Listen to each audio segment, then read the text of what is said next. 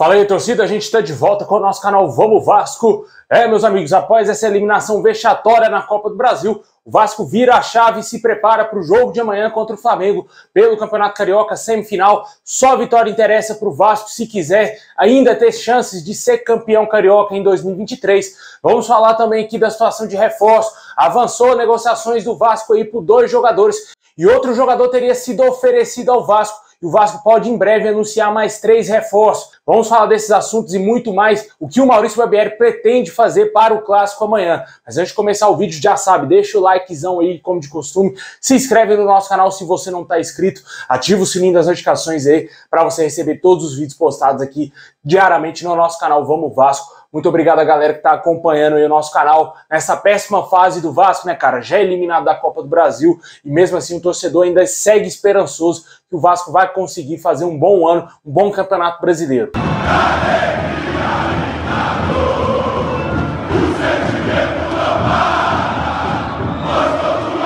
Bom, pessoal, amanhã tem um clássico dos milhões no Maracanã. Essa partida aí será às 6 horas da tarde, com transmissão somente da Casé TV. O Vasco joga por uma vitória simples, né? Vale ressaltar que qualquer vitória do Vasco Vasco já estará na final do Campeonato Carioca, por ter feito uma campanha melhor do que o Flamengo. Se o Vasco vencer por 1 a 0, já estará na final aí para enfrentar Fluminense ou Volta Redonda. Vale ressaltar que a outra semifinal entre o Fluminense e o Volta Redonda acontece hoje. Já saberá quem será seu adversário amanhã, antes de vencer o Flamengo. Amanhã o torcedor vive uma grande esperança de que o Maurício Barbieri vai voltar com o Rodrigo no time titular, vai fazer algumas outras alterações. A principal delas, na minha opinião, é realmente a entrada do Rodrigo no time titular e também a entrada entrada do Ivan no lugar do Léo Jardim. Eu acho que já o Vasco está perdendo muito tempo com o Léo Jardim, já está mostrando ser um goleiro extremamente inseguro e com certeza não passa confiança alguma ao torcedor vascaíno. O jogo de amanhã, o Maurício Barbieri muito possivelmente deverá manter o mesmo esquema com três volantes ali no meu campo, né? Com três atacantes, com o Alex Teixeira jogando na ponta esquerda, e o Peck na direita e o Pedro Raul como centroavante. E a provável escalação do Vasco amanhã deverá ser o goleiro Léo Jardim, porque o Maurício Barbieri vem dando mostras que o Léo Jardim é seu titular, né? Apesar do torcedor clamar pela entrada do Ivan, o Maurício Barbieri é teimoso e vai continuar aí com o Léo Jardim como titular. Pumita Rodrigues na lateral direita. Na zaga, Manuel Capasso jogando ao lado do Léo Pelé, Lucas Piton na lateral esquerda. Meio campo aí o Rodrigo, muito possivelmente entrando no lugar do Marlon Gomes, que foi muito mal no jogo da Copa do Brasil contra o ABC. E também o Galazza, que jogou o último clássico contra o Flamengo, foi mal também, foi péssimo, para falar a verdade. E completando o meio campo, além do Rodrigo, Andrei Santos e também o Jair. Mais à frente, o ataque do Vasco com Alex Teixeira, Gabriel Peck e também o Pedro Raul. Esse será o provável Vasco que vai entrar amanhã em campo contra o Flamengo para vencer, meu amigo. Só a vitória interessa. Se não vencer, estará fora do Campeonato Carioca. E o Vasco só volta a jogar, entrar em campo no dia 16 de abril contra o Atlético Mineiro, fora de casa, na estreia do Campeonato Brasileiro. Vai ter muitos dias parado, né, sem ter jogo do Vasco. E a diretoria vai ter que buscar reforços, vai ter que tentar aí melhorar esse elenco do Vasco, porque esse time aí vem dando mostras que não vai aguentar o Campeonato Brasileiro. Precisa de muitas peças, na minha opinião, cara. Precisa de pelo menos uns sete reforços no mínimo. Precisa reforçar o banco de reservas, precisa reforçar o time titular. Não existe jogar futebol sem um camisa 10. Time nenhum no mundo joga sem o meio de criação. Ele é a posição mais importante no futebol fora do goleiro, né? Porque sem goleiro também você não consegue jogar. Na minha opinião, é a posição extremamente importante que o Vasco tem que buscar uma contratação urgentemente. Porque ficou nítido para todo mundo que o Vasco não tem criação no meu campo. No último clássico contra o Flamengo, quando o Vasco perdeu o jogo, se tivesse um camisa 10, o Vasco teria conseguido no mínimo empatar a partida, porque tinha achado vários espaços, porque a defesa do Flamengo estava batendo cabeça toda hora e não tinha um meio de criação para achar um espaço para enfiar a bola para o Pedro Raul ou talvez para Alex Teixeira ou Gabriel Peck. Faltou qualidade no meio-campo do Vasco, faltou criatividade no meio-campo do Vasco. Camisa 10 ele é o elo entre o meio-campo e o ataque. Ele que tem que ser o responsável para entregar a bola ao ataque. O Vasco hoje não tem esse jogador no nosso elenco, né? O Nenê tem 41 anos, não faz mais essa função. O Nenê já está a um ponto de se aposentar. Inclusive, amanhã pode ser o último jogo do Nenê, cara. Olha só, caso o Vasco perca para o Flamengo, o Vasco não se classifique para a final do Campeonato Carioca, o Nenê muito possivelmente deverá ou deixar o Vasco ou anunciar a sua aposentadoria, já que o Vasco não deverá renovar o seu contrato até o final dessa temporada. Vamos torcer para que amanhã o Maurício Barbieri não erre na escalação, não invente, né, cara? Porque ele vem fazendo várias invenções aí no time do Vasco e todas elas deram errado. Todas as mudanças que ele fez no time do Vasco, o Vasco não correspondeu em campo e, pelo contrário, foi, jogou muito abaixo do esperado.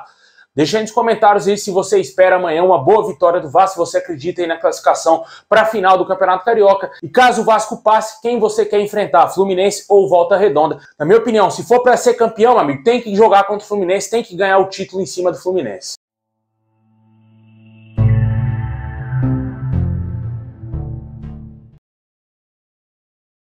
Bom, pessoal, agora vamos trazer aqui atualizações quanto a reforços. O Vasco avançou bastante aí na contratação do volante Campuzano, jogador do Boca Juniors que estava jogando no futebol turco. O que o jogador está defendendo nessa temporada já teria dado sinal verde para o jogador reforçar o Vasco. Vale ressaltar que ele está somente emprestado ao clube turco Porém, existe uma grande dívida do Giresunspor com o Boca Juniors e o clube turco já disse que não tem condições de bancar essa dívida e deverá repassar o jogador ao Vasco. O jogador, inclusive, já é aguardado na Argentina para finalizar o empréstimo junto ao Vasco e ser nosso novo reforço. Ressaltar que é um jogador de 26 anos com passagens aí pelo Boca Juniors, Atlético Nacional e ele atualmente é jogador da seleção colombiana. O Vasco entende que a posição de primeiro volante é uma das posições mais carentes do elenco e já está aí a um passo de fechar a contratação do Campuzano, jogador que chega pelo menos com empréstimo até o término dessa temporada. Quem também pode estar perto de ser reforço do Vasco é o atacante Eduardo Sacha, do Atlético Mineiro. A negociação entre o Vasco e o Atlético teria avançado bastante nas últimas horas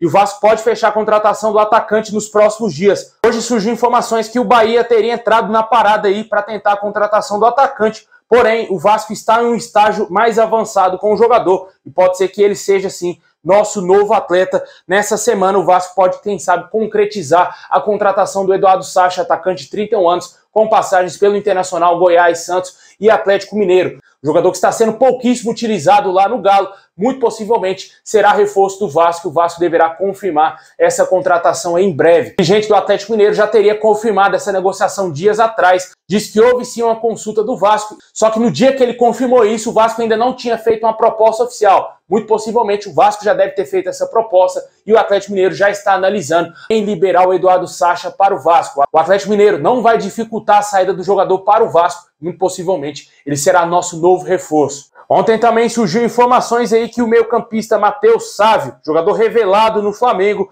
está atualmente no futebol do Japão, no Caxias Reysol, teria sido oferecido ao Vasco. Jogador de 25 anos, já trabalhou com o Maurício Barbieri, inclusive no próprio Flamengo, e foi oferecido ao nosso clube. Muito possivelmente o Vasco está analisando essa possível contratação. Vale ressaltar que, de acordo aí com a Arena Cruz Maltina, muitos atletas estão sendo oferecidos ao Vasco durante essa janela de transferências e nas últimas duas semanas esse número de jogadores aumentou consideravelmente. Como a gente disse, o nome do Matheus Sávio já está na mesa do Vasco e o Paulo Brax está analisando a possível contratação do jogador. Há informações que, apesar do jogador ter sido oferecido, o Vasco trabalha para contratar um nome de maior peso aí para o setor, né? O setor de criação. E o técnico Maurício Barbieri já teria pedido à diretoria a contratação de um meia de criação que até o momento esse famoso 10, a cereja do bolo que tanto falaram por aí, não foi contratado. O Vasco não contratou esse famoso jogador clássico camisa 10, que até agora o torcedor está aguardando e nada de contratação, né? O Vasco tem dinheiro,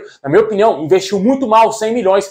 Desses 100 milhões investidos em reforço, dava ter contratado um camisa 10 tranquilamente, cara. Nem que seja um jogador não a nível titular, mas pelo menos para ter ali no elenco, cara um jogador ali que seria capaz de pelo menos ajudar a criação do Vasco, que nem isso hoje temos no nosso elenco. O Nenê, como eu disse, já está com 41 anos, não consegue render absolutamente nada dentro de campo. Ele entra somente para tentar uma bola parada ou outra coisa ali, porque nem correr o jogador consegue mais, não consegue ser ofensivo, não consegue ter força para ajudar o ataque vascaíno. E por isso o Vasco pagou muito caro em não ter contratado um camisa 10. Essa ausência foi muito sentida, como eu disse, no clássico aí de segunda-feira contra o Flamengo. Deixa nos comentários se te agrada esses possíveis três reforços do Vasco Dois deles mais avançados, Eduardo Sacha e também o Campuzano. O Campuzano já está praticamente fechado com o Vasco. E também aí o jogador Matheus Sávio sendo oferecido ao Vasco.